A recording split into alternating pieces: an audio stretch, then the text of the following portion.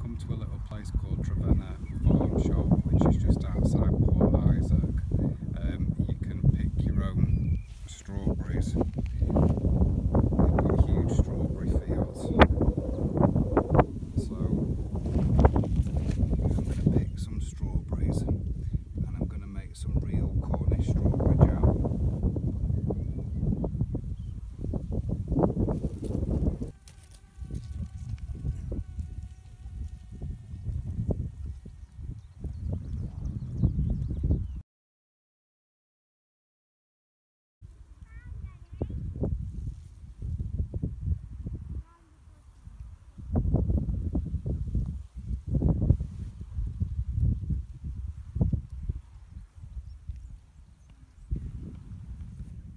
Those are the strawberry fields over there.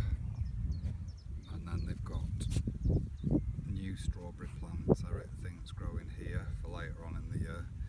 And you could pick gooseberries if you wanted to from here as well. I like gooseberry jam, but I'm just going to go with the strawberry jam. As Eric likes that too. Hello.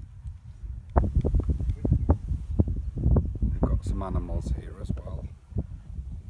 Some sheep, some chickens at the back there. And there's a goat in here. I just hope you can't buy these to eat them as well. There. Hello. They've got a shop in here too.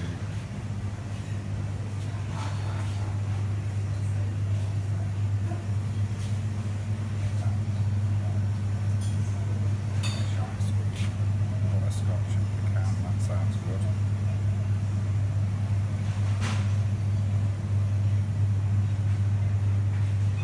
A restaurant as well.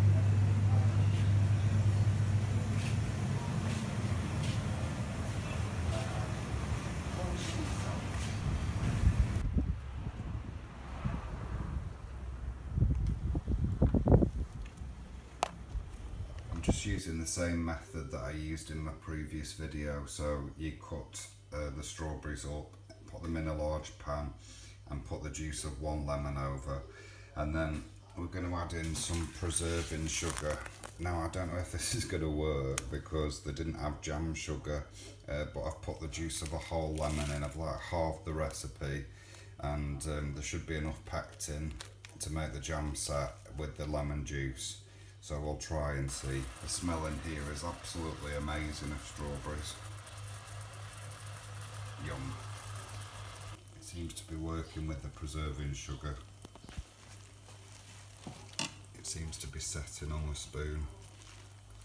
It tastes delicious. Just decant it into jars and let it set.